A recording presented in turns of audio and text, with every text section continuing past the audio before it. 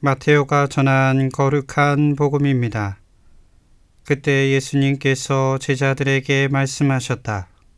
너희는 씨 뿌리는 사람의 비유를 새겨 들어라. 누구든지 하늘나라에 관한 말을 듣고 깨닫지 못하면 악한 자가 와서 그 마음에 뿌려진 것을 빼앗아 간다. 길에 뿌려진 씨는 바로 그러한 사람이다. 돌밭에 뿌려진 씨는 이러한 사람이다. 그는 말씀을 들으면 곧 기쁘게 받는다. 그러나 그 사람 안에 뿌리가 없어서 오래가지 못한다.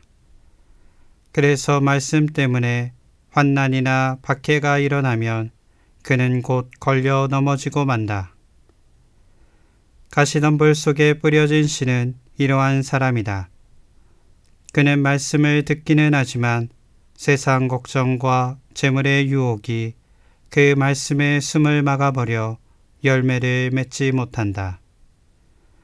좋은 땅에 뿌려진 씨는 이러한 사람이다. 그는 말씀을 듣고 깨닫는다. 그런 사람은 열매를 맺는데 어떤 사람은 백배, 어떤 사람은 예순 배, 어떤 사람은 서른 배를 낸다.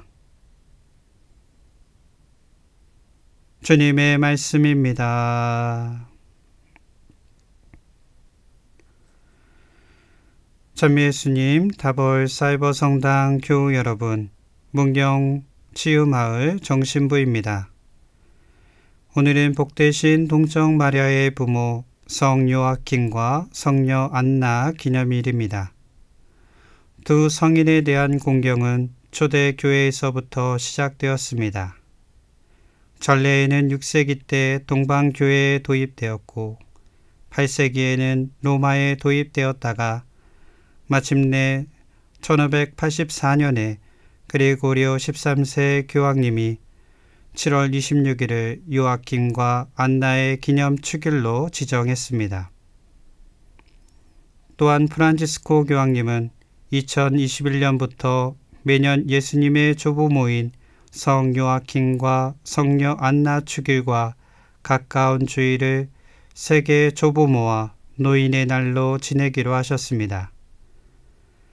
교황님께서 이날을 조부모를 상징하는 두 성인의 축일과 연관 지으면서 조부모와 노년을 보내고 있는 이들의 사명을 강조하시고 노년의 의미와 가치를 재조명하고자 하셨습니다.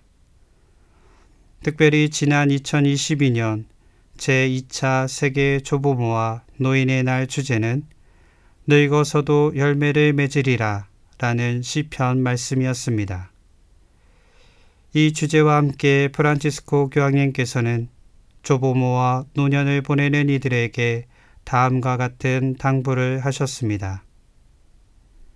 노년은 항해를 포기하고 돛을 접어야 하는 때가 아니라 여전히 열매 맺는 시기입니다. 새로운 사명이 우리를 기다리며 미래를 바라보라고 부릅니다.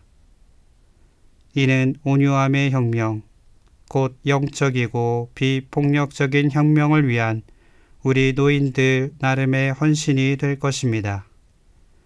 사랑하는 조부모와 노인 여러분, 이러한 혁명 안에서 적극적인 구실을 해주십시오. 오늘 복음 말씀은 이러한 교황님의 당부에 확신을 더해주고 있습니다. 그는 말씀을 듣고 깨닫는다. 그런 사람은 열매를 맺는데 어떤 사람은 백배, 어떤 사람은 예순 배, 어떤 사람은 서른 배를 낸다. 타볼 사이버 성당 교우 여러분, 특별히 조부모와 노년을 보내시는 교우 여러분, 늙어서도 열매를 맺는다는 교황님의 당부로 힘을 얻으시길 바라겠습니다. 그리고 오늘 복음을 통해 여전히 열매를 맺으리라는 확신을 가지시기 바랍니다.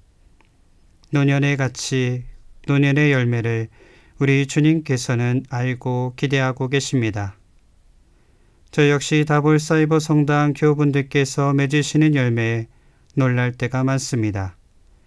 여러분들이 맺는 열매에 너무나 감사합니다.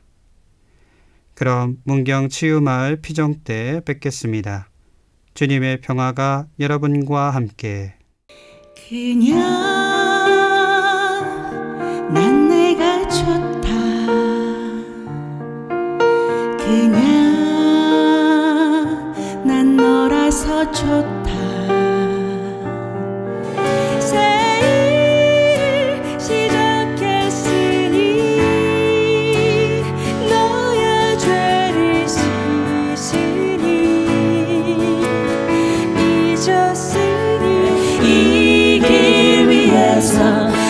다시 오시는 당신을 기다립니다. 주야 빛 비추소서